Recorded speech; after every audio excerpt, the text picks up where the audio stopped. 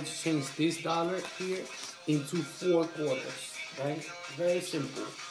Check this out. That's the only way to get the four quarters. Just like that. And check it out. Beautiful. Now let's bring it back. Just like that. You get your money back.